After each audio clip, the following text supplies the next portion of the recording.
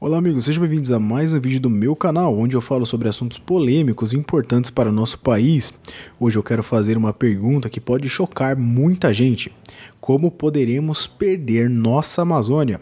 Sim, você ouviu bem, a Amazônia é a maior floresta tropical do mundo que abriga uma biodiversidade incrível e que é vital para o equilíbrio climático do planeta.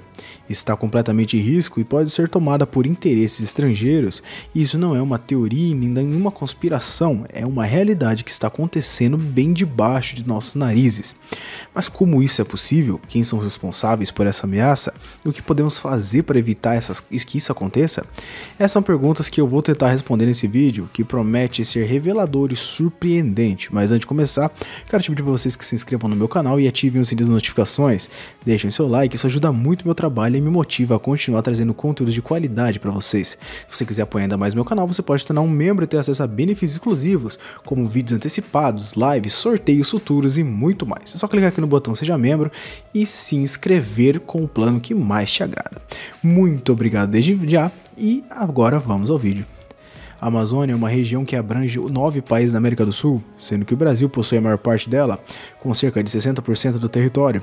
A Amazônia é considerada o pulmão do mundo, pois produz cerca de 20% do oxigênio da atmosfera e absorve grandes quantidades de dióxido de carbono, o principal gás responsável pelo efeito estufa e pelo aquecimento global.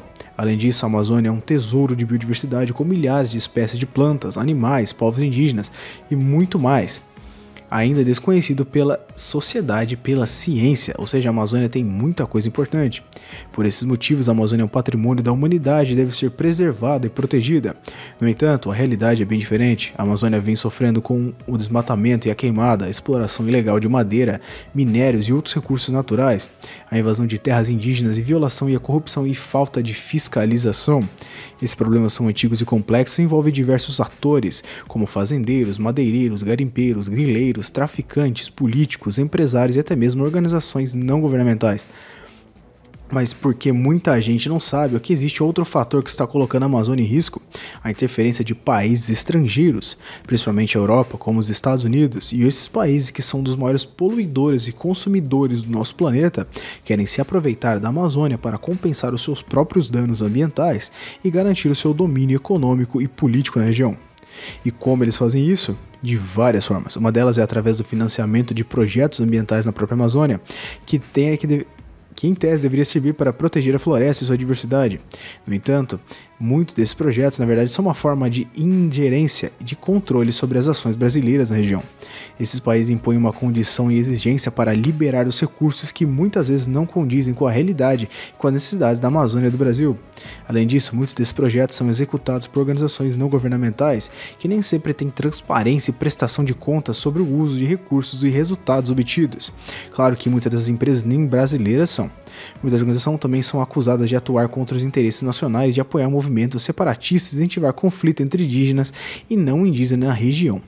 Outra forma de interferência é através da pressão diplomática e econômica, esses países que são os principais parceiros comerciais do Brasil ameaçam impor sanções e restrições ao país caso ele não cumpra as metas de compromissos ambientais estabelecidos em acordos internacionais, como o, como o Acordo de Paris. Esses países também usam sua influência na mídia, na academia e em governos internacionais, como a ONU, para difamar e deslegitimizar o Brasil, acusando de ser o vilão do meio ambiente, de violar os direitos humanos. As acusações são muito muitas vezes baseadas em dados falsos, distorcidos ou desatualizados, que não refletem a situação real da Amazônia do Brasil. Claro que a situação da Amazônia é bem ruim mesmo, mas não chega a ser tão ruim quanto as florestas da Europa. Mas o que esses países querem de verdade Amazônia, eles querem se apropriar dos seus recursos naturais que são absurdamente estratégicos, como a água, a madeira, minério, petróleo, gás, a biodiversidade e o potencial energético. Eles querem tentar impedir o desenvolvimento e a soberania do Brasil, que é um país emergente que tem a Amazônia um dos seus principais ativos. Eles querem impor sua visão e os seus interesses sobre a região, o que muitas vezes é contrário aos povos que vivem na Amazônia, sejam eles indígenas ou não. Esses países não têm moral e nem autoridade para interferir na Amazônia, pois eles são os principais responsáveis pela degradação do meio ambiente, pela desigualdade social no mundo. Eles já destruíram suas próprias florestas e exploraram um dos outros continentes, como a África a Ásia. Eles consomem e desperdiçam os recursos naturais de forma insustentável e egoísta. Poluem e aquecem o planeta com suas emissões de gases e efeito estufa. Eles deporam e oprimem mais pobre, o povo mais pobre e vulnerável do mundo, impondo-lhes dívidas, guerras e crises que não respeitam a diversidade e autodeterminação dos povos e tentam impor sua cultura e sua religião ao seu modelo de desenvolvimento. A Amazônia é nossa e não temos o direito e temos o direito de cuidar dela. Isso é um fato que o Brasil vem fazendo há muito tempo. Porém, durante disputas na ONU e OTAN, alguns países já vieram deixar bem claro que o Brasil não deve ter o controle da Amazônia, porque dizem que o Brasil não sabe cuidar do seu patrimônio cultural. Tanto que alguns países dizem que o Brasil deveria passar o controle da, da Amazônia com todas as suas ações e dos seus bens para países como a União Europeia ou os Estados Unidos, que cuidariam muito melhor da Amazônia. Claro, obviamente isso não seria nada legal para o Brasil, pois passar um dos seus bens aos Estados Unidos seria entregar de bandeja o nosso, o nosso maior tesouro nacional.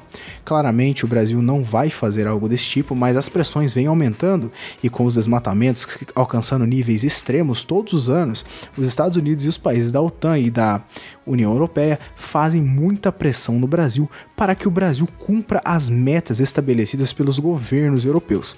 Claramente, isso é algo bem difícil de fazer, mas o Brasil vem tentando com seus projetos. O Civan, por exemplo, que tenta controlar a Amazônia pela sua exportação de droga, que é, muita, é muito grande no território amazonense, acaba entrando entorpecentes pelo território com muita facilidade, que é um dos maiores problemas que o Brasil tem.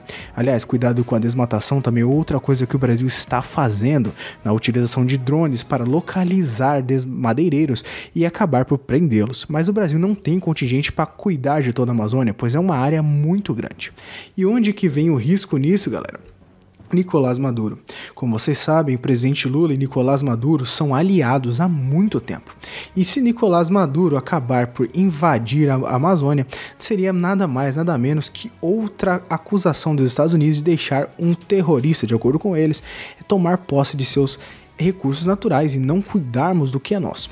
Outro problema é que Maduro e Lula são aliados. E caso o Maduro queira tomar as posses de Essequibo, que seria uma grande reserva de petróleo, Estados Unidos não vão deixar.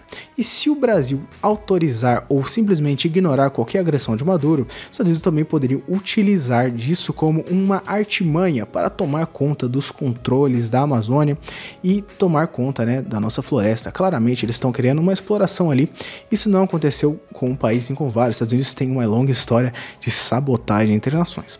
Bom, amigos, mas é esse o vídeo. Eu quero perguntar para vocês: o que você acha? Acha que os Estados Unidos pode acabar lascando o Brasil? Você acha que a gente pode acabar perdendo a nossa Amazônia?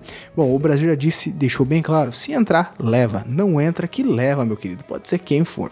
Bom, é isso que eu tenho para falar para vocês. Não podemos aceitar que nossa Amazônia seja alvo de cobiça e de agressão por parte de países que não tem nada a ver com ela. Muito obrigado desde já. Vejo todos na próxima e um grande, um grande abraço.